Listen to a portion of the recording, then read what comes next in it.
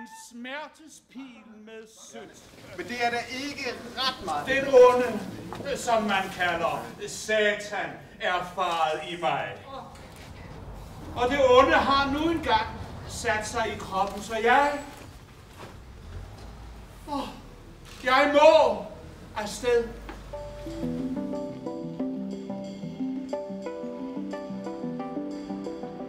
Tidens uendelige hav